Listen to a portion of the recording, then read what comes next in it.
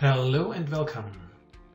In this short video I want to show you how to export objects from Inventor to Revit with the correct orientation and the correct height position.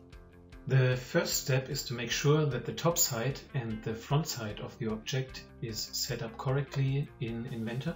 The next step is to export the object in the Inventor BIM environment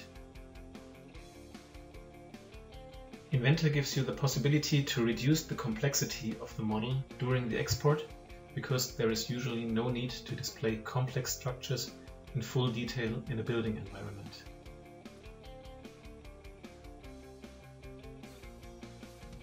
If you create a lot of custom contents for Revit, I would recommend you to set up your own default folder structure for your families. I will simply export this file to a subfolder that I created in my documents. View the report to check if there are any problems or errors.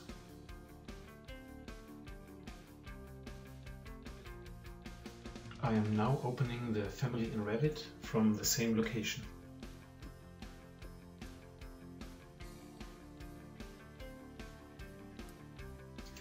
Now I'm going to reference the object to the local coordinate system of the family.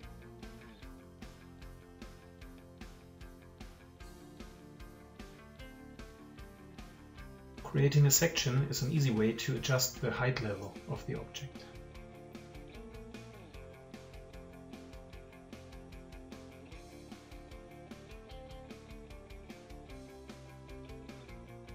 I'm saving my family for future use and I'm gonna load the family into my building and I will rotate and move the object to the correct position.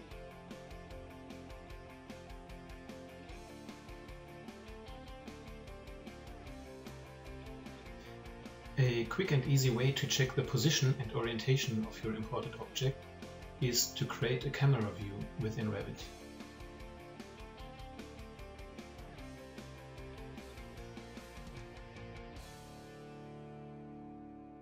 I hope you enjoyed the video and I wish you a nice and productive workday with your Autodesk products.